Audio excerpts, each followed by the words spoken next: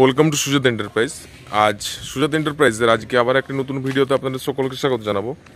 এই যে আপনাদেরকে বলেছিলাম, আমাদের এখানে মুড়ি ভাজা মেশিন ছাড়াও যে সমস্ত মেশিন রয়েছে, যেমন গম ভাঙা মেশিন আটা তৈরি করা, এই যে দেখুন সমস্ত কিন্তু এটা ফিটিং হচ্ছে, একটা অলরেডি ফিটিং হয়ে গেছে, গাড়িতে চাপানো হয়ে গেছে, এটাও ফিটিং হবে।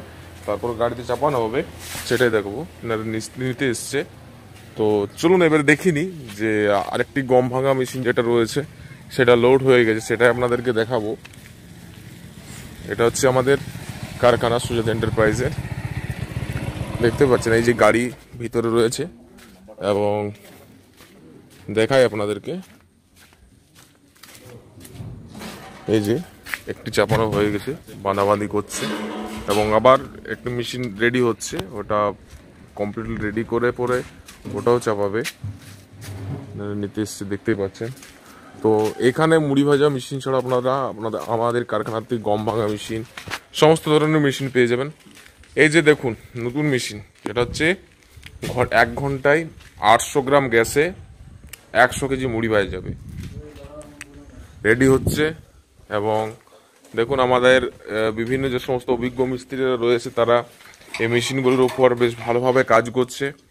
আপনারা দেখতেই পাচ্ছেন, এখন বিভিন্ন টাইপের, বিভিন্ন রকমের, বিভিন্ন ধরনের মুড়ি ভাজা মেশিন বলুন গম ভাঙা মেশিন বলুন।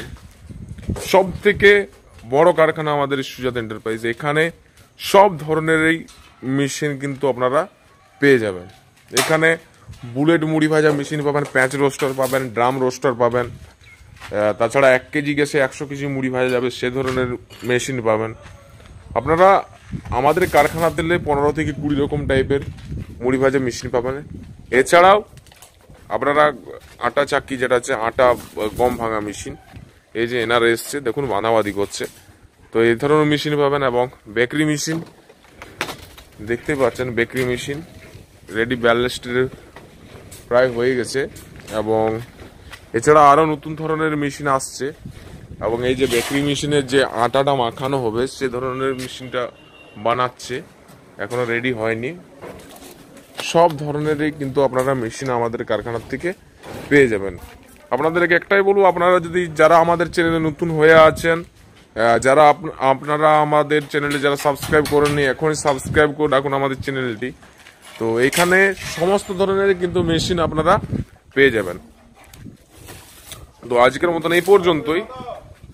আপনারা আমাদের চ্যানেলটা অতি অবশ্যই সাবস্ক্রাইব করে রাখুন। ভালো থাকবে ততক্ষণ।